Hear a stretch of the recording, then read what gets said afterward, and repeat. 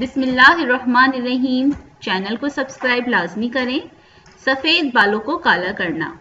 सबसे पहले फिर ने सिया खिजाब लगाया। जो कौम सिया खिजाब लगाएगी, वो जन्नत की खुशबू भी नहीं सूंघ सकेगी। बदतरीन बूढ़े वो हैं जो अपने आप को जवान बनाना चाहते हैं।